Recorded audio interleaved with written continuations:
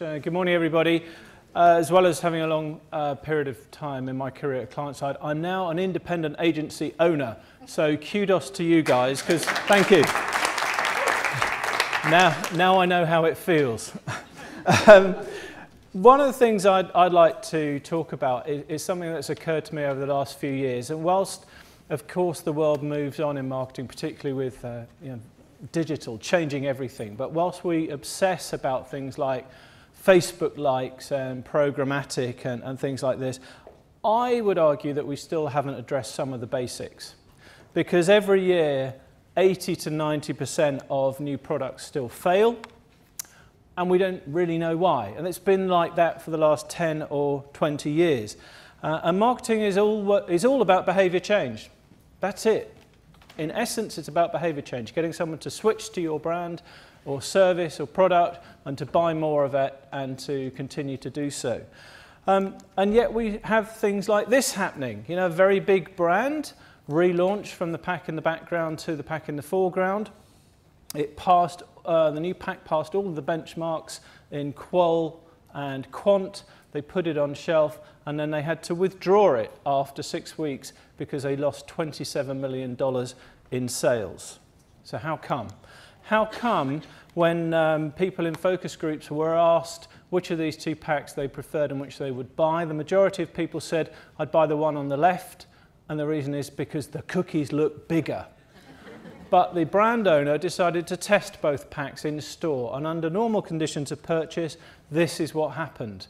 Because when we're under time pressure and we're faced with complexity of choice, something in the brain makes us reach for the pack that looks like it's got more cookies in it. So people say one thing and they do another. So this is understanding this behavior is fundamental to marketing.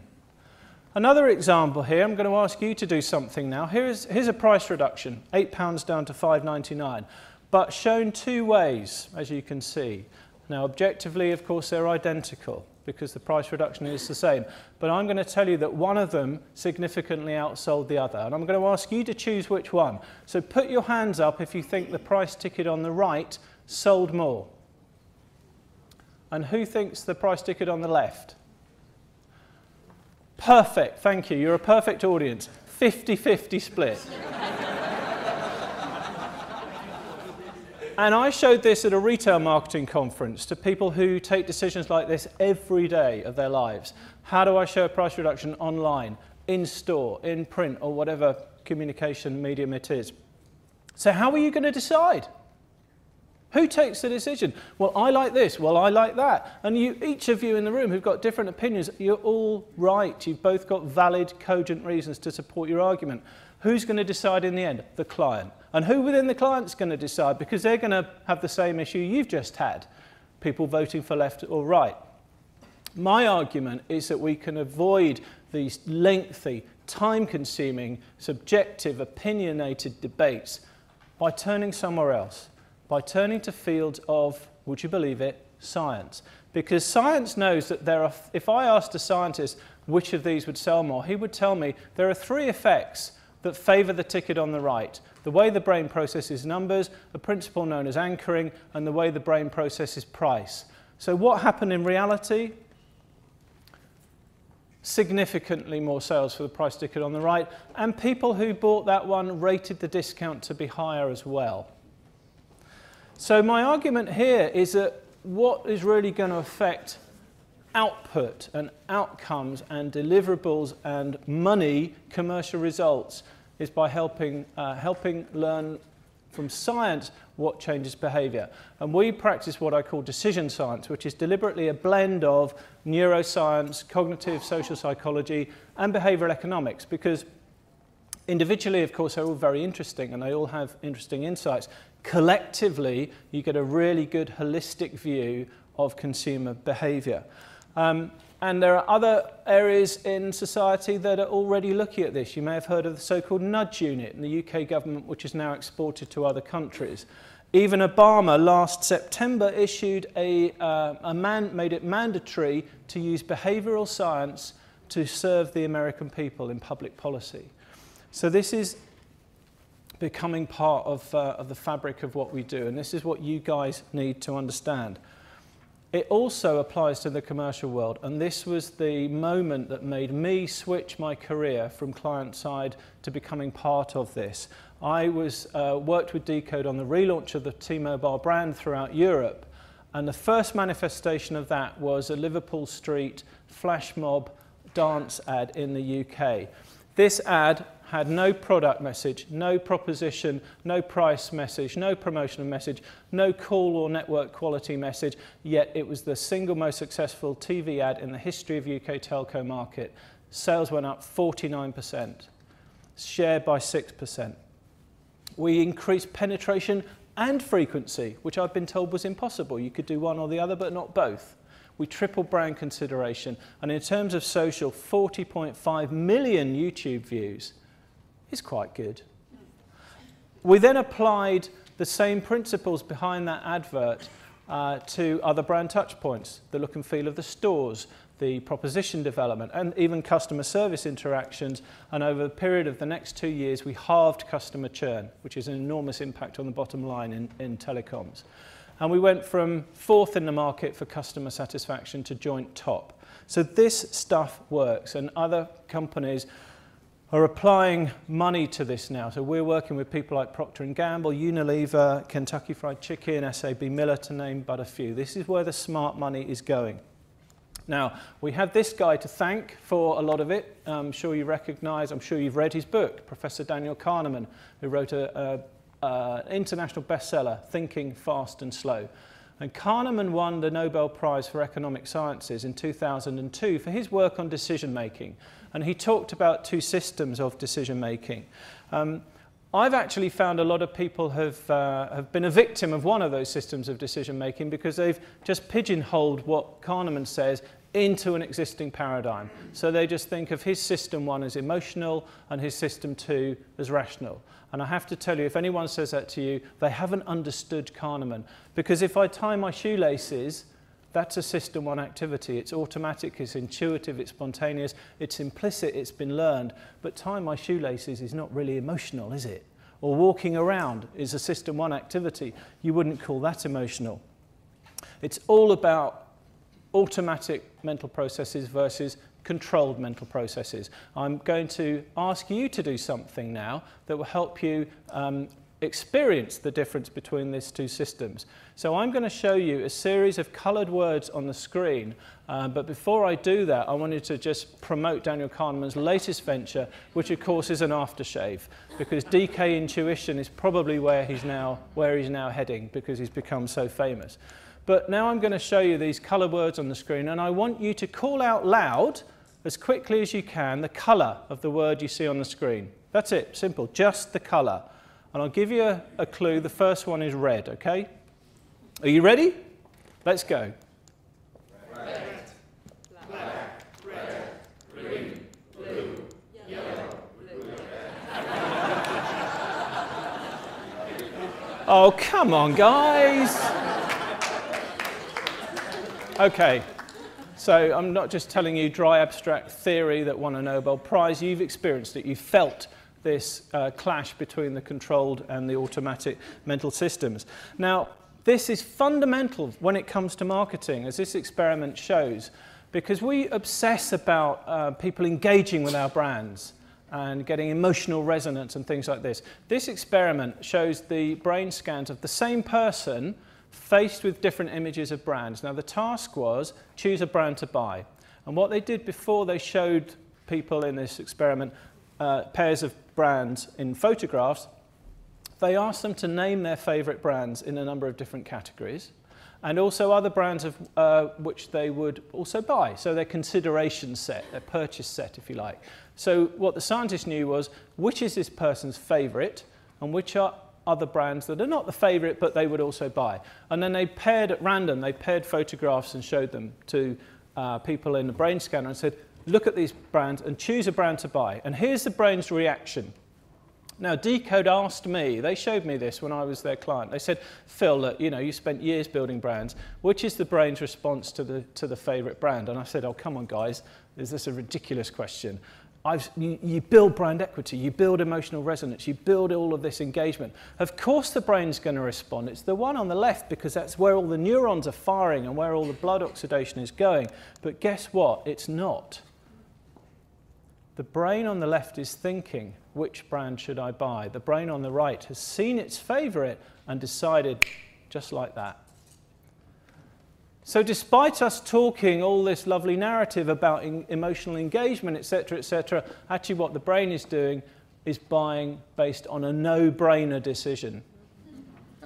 A favorite brand becomes a shortcut, it becomes a default, and the brain loves that because it's the most efficient way to make decisions because it burns the least amount of energy. And that's exactly why this whole System 1 thing has evolved over millennia to be a very efficient user of energy because energy is important.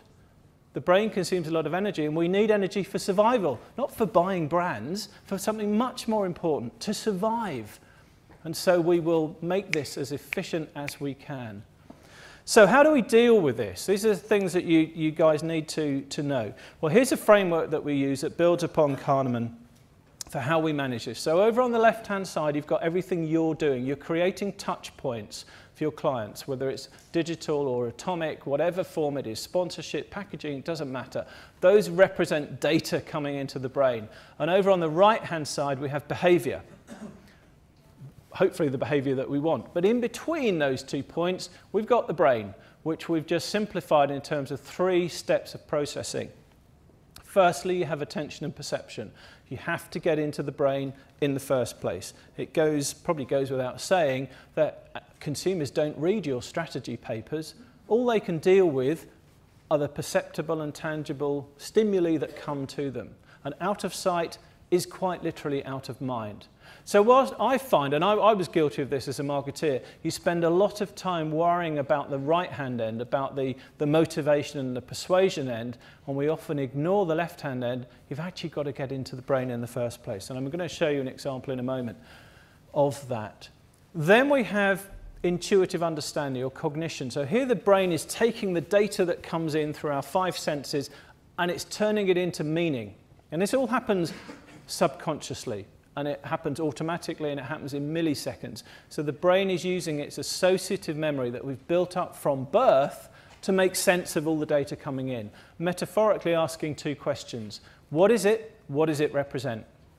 Where do I know this thing from? And then finally, we get persuasion, which could be based on just a, a fast decision rule we call a heuristic or, or a nudge, as they've commonly termed, or it can be goal based decisions, and we'll talk about that in a moment.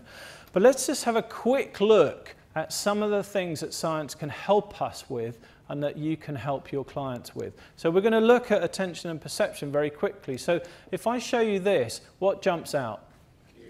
The Q, absolutely. The Q jumps out up there. I'm a bit disappointed. I hope you might say the F, which is over here. But no, the reason you didn't spot that is because of a hard and fast scientific principle that our attention snaps to things that contrast with the surroundings. Contrast in colour, in shape, or in size. And that's why you looked straight at the Q. That's why the Q jumped out. Now, visual neuroscience knows this so well that it's even possible now to write some software to replicate what your eyes just did. And this is, this is a tool that we use. We used it with a client, British Telecom, who had a piece of direct mail that wasn't working for them. And when we used this tool, which you can see here with the hotspots of attention, we said the problem with your material is the face at the bottom. Because, we, again, a hard principle from science, there's nothing more rewarding to the human brain than another human being, in particular faces, we will pay attention to. And it's sucking attention away from the call to action, which is those roundels on the right hand side in the middle of the page. So, quick and dirty solution, we said to the client, take the face off. Because then the principles of contrast kick in, and look where attention goes now, straight to the call to action. So that's what the theory says. Let's see if it worked in, in practice. What actually was the, was the outcome? Well, British Telecom tested this, did A-B testing, and the one on the right increased response rate by nearly a third. And they send out millions of mailings. So that is a, not a trivial increase in response rate. So you can get people to look where you want them to look. And you can use that to drive sales. So why wouldn't you want to know this sort of stuff as, as an agency? We did exactly the same with by changing the layout of one of their print ads. We didn't change the offer. The offer was identical before and after. We simply changed the layout and call volumes went up 27%. So this is powerful stuff. Let's have a quick look at, uh, at the middle block now um, about cognition and understanding. So another question for you, which of these would sell more? Right, okay, yeah, you're right. The one on the right has a 20% higher purchase intention. The reason being that the majority of people in the population are right-handed. And what happens when you see that image, you, you, you can't stop this happening. Your brain automatically simulates picking up that fork. So what happens if your art director is left-handed? yeah, this is stuff you should, you should know about. And, it, and, it's, and it's quite simple and it's quite easy to apply, but look at the commercial impact that it has. Why would you not want to know about this stuff? This is a principle known as fluency, which is the ease of mental processing. The brain loves things that are easy to process. And another way to do that, because we can't go advertising and putting our brand clients' brand names everywhere, is to use what we call iconic assets.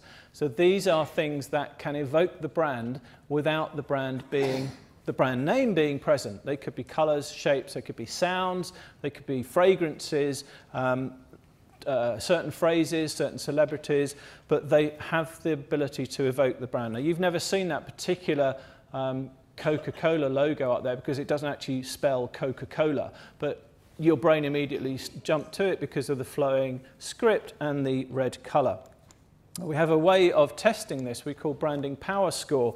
And here are some examples of branding power score from on the right-hand side, this is, this is the activation of the correct brand. So the Apple logo, not surprisingly, scores very highly.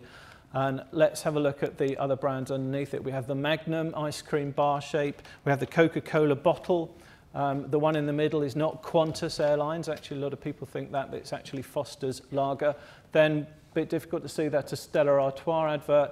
Andie MacDowell from L'Oreal, and then finally, oh dear, a negative branding power score for Dolce & Gabbana's fragrance The One. The reason being that about 20 years ago, Calvin Klein launched CK1, and they now own the word one. So if you're Dolce & Gabbana, every dollar I spend promoting that fragrance activates my competitor. Every dollar because I have a negative branding power. So you have a strategic choice. What do I do with this? Do I continue to invest and hope that I build that activation, or do I actually change the name or drop it? Here's a really nice example as well from Magnum. They're just the bar shape, no other element of branding, just the shape has a 90% activation of the brand and very low activation of competitors. But look over here. This is a Haagen-Dazs advert. Now, again, science tells us that the average dwell time on a print ad is about 2.1 seconds.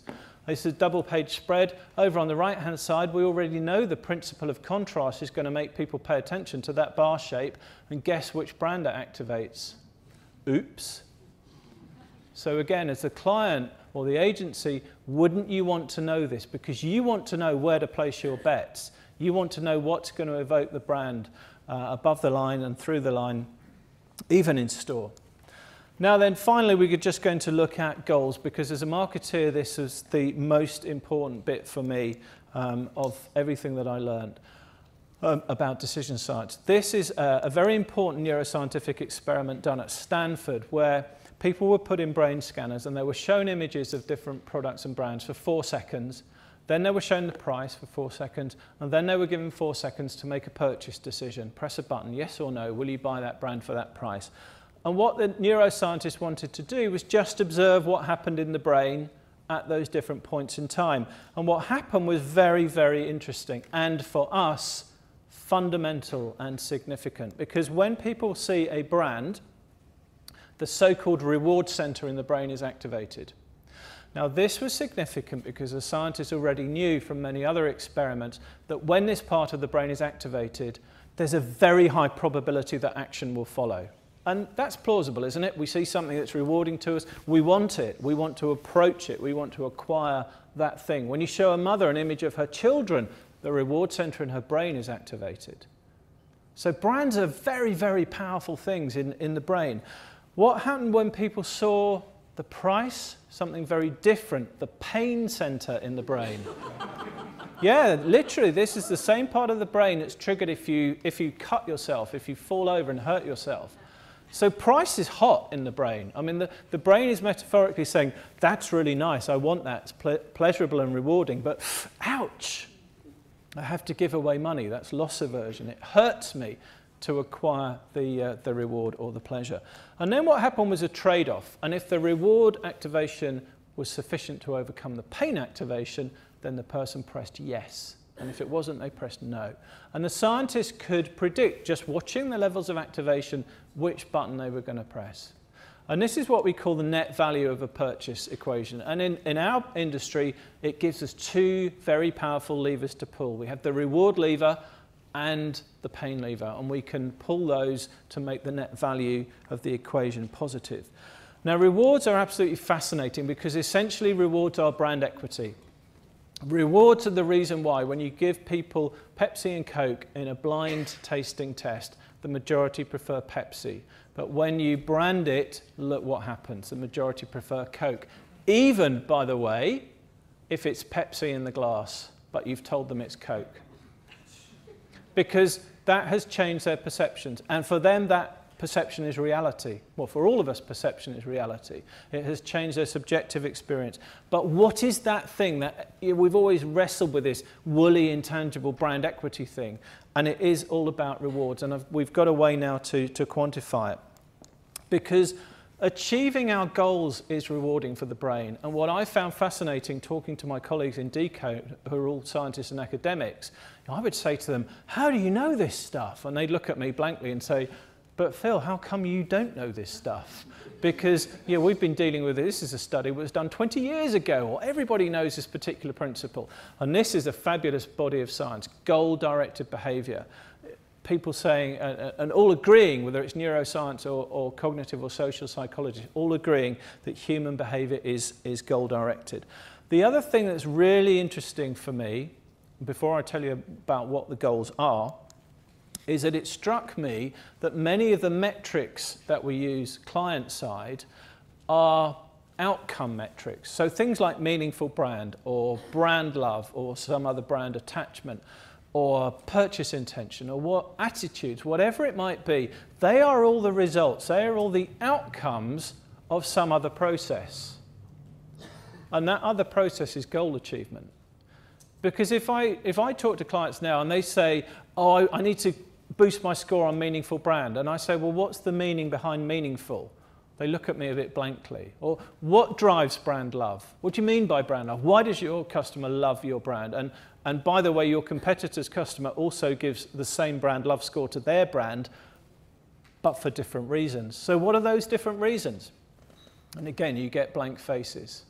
So some of these outcome measures, like meaningful brand, are actually meaningless unless you come back upstream and understand what's driving that outcome. And that outcome is goal achievement. So what science tells us about goals is there are three fundamental drivers in terms of neuropsychology in, in the brain. There's autonomy goals, security goals, and excitement goals. Autonomy goals are all about who's the leader of the pack. This is about power, superiority, recognition, status, self-esteem, and self-confidence. Security goals are all about closeness, warmth, belonging, tradition, trust, care, warmth. And excitement goals are the novelty seeking system in the brain. This is why I have a real issue when people talk to me about millennials, because actually millennials show exactly the same uh, behaviors as the previous generation did, and the previous generation to that, and the previous, and all the ones in the future will, by the way. Every decade they'll show the same because we all are driven by the same goals. These don't change in a decade. These have evolved over millennia. So excitement is novelty seeking, it's curiosity, it's about zest for life, hunger, vitality, and looking for new sensations and, and new experiences. Now, the link between this and brands is actually very simple because when thousands of years ago men beat each other over the head with clubs to determine who was the leader of the pack, nowadays we do exactly the same, but we do it symbolically through the cars we drive and the clothes we wear and the watches we wear, because otherwise we'd all drive the same cars, we'd all wear the same watches and the same clothes because they'd all they'd all be the same, wouldn't they? Functionally, virtually identical. But of course we don't because we've come to associate those and our System 1 associative memory has built associations between brands as being instrumental in helping us to achieve our goals. Um, and as a business, we've developed this further into a map which is, has six areas on it, which is populated with a number of goals within, within the map. It's not shown here. But we need to be careful how we measure this stuff because Coming back to Kahneman's System 1, System 2, here's an example of measurement because traditionally, a lot of our market research measures have only tapped into System 2. So here's a live example from one of our clients, a banking client. On the left-hand side, what you see are a bunch of brand attributes, and then the first data set is their tracking study, measuring them versus a competitor. The data set on the right are the same attributes, but now using a different technique. This is an implicit measurement technique that accesses and measures system one in the brain. So this is looking at the automatic, spontaneous, intuitive response. And look at the differences in the data sets. The implicit set is far more sensitive to the real differences between the bank brands. And in some cases, the data points are actually reversed. And this is significant because up to now, you and your clients are using a data set on the left to plan activity and to make strategic choices and to allocate budgets, whereas consumers' brains are working with the data set on the right. So this is why it's very important to understand. Now we use this type of measurement and this model to help not just strategically to understand what drives category purchase and brand purchase and brand relevance and distinctiveness, but also at an executional level to test advertising and output. Now, many of you will, will remember Cadbury's Gorilla campaign, very, very famous campaign. I doubt many of you will remember its successor called Trucks which came out soon afterwards, written to the identical brief, same creative team, same director, and it completely died. Sank without trace. Uh, and we measured both ads, and it's obvious when you measure the goals with which they're associated. You can see in the spider chart on the left hand side just how differently those ads perform, despite the brief being identical. And on the right hand side, the fit with purchase drivers was also very different. So it's really good to understand what is really driving purchase, and what is being signaled to this autopilot system that is being picked up that uh, we might otherwise miss. Similarly with, um, with T-Mobile, part, part of Deutsche Telekom, we still work with Deutsche Telekom throughout Europe, and the relaunch was based on doing exactly this type of work. We also found a positive and strong correlation between goal achievement and loyalty cohorts as well which was fascinating and of course then led back to, to revenue. So finally, let's just have a look at the question I posed at the beginning. How could uh, a big marketing company like PepsiCo make such a terrible mistake with the relaunch of, of uh, Tropicana packaging? And I'm going to use just a couple of examples from what I've shown you um, to explain this. The first is what happens when we shop a supermarket? Now, what you see at the bottom here are blurred images of the two packs at the top. And the reason I've blurred them is deliberate. It's because it replicates our peripheral vision. Because don't forget, when you're working with material and when you present material to a client or it's stared at for two hours in a focus group, you are giving it your full undivided attention in pin sharp focus, 2020 vision and full color. When I'm walking down a supermarket aisle like this, the majority of what I see is out here. It's peripheral vision, 120 degrees, and as we go to the periphery, it becomes blurred. And if you don't believe me, when you read my book, look in the margin, see if you can read the words two, three centimeters to the left or the right, and you can't because they're blurred. So simple tip for you, you can do this in PowerPoint, blur images of material you produce, give it to someone who doesn't know what it is, and say to them, what is it? To see if it's perceptible. Now, what happens under those conditions is, as you can see, the iconic assets of Tropicana with the old pack still come through. They're still perceptible. That orange you can see very, very clearly. On the right hand side, what is it? Who is it? Which brand is it? Is it own label? I have no idea. It just merges into a bland mess. The second thing is when you, when you measure these brands at an implicit level, you can see they're associated with very different goals. the original pack on the left, the, the signals on that pack, the codes on that pack are about freshness, naturalness, realness. You can't get fresher than an orange just picked off a tree and a, and a straw stuck straight into it. Whereas the pack on the right is orange served in a fluted wine glass. And the brain's think recoding this. Where do I know this from? Where do I, where do I recognize orange served in a fluted wine glass? Special occasion, brunch, business meeting, wedding, Bucks Fizz. That's not how you serve orange juice to the kids on the breakfast table. So the change in, in um, graphics signals a very different meaning to the autopilot. So those are just two of the reasons why it failed. Now, when we, we did this with um, BT, and you know, you can go into clients with some of this science background, and it's now not just a question of trust me, it's here's what science tells us. It gives you much more gravitas and authority to be able to sell work to clients because you've got science on your side. And when we did this with BT, these increases in response rates were the highest in living memory at that client, they told us, which is very nice. So if you want a deeper look, you have my book. Uh, hope you enjoy it. Please give me your feedback. I'd love to hear your feedback. If anyone wants to take this further with us, we do training, we do consultancy, we do research. Very happy to take any questions over lunch. By the way, I'll still be here for lunch. So just thank you now from me for your attention.